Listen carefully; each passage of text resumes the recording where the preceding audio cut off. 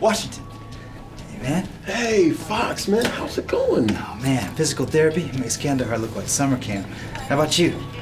The sessions are tough, but I gotta get back on track. So is it helping? Yeah, man.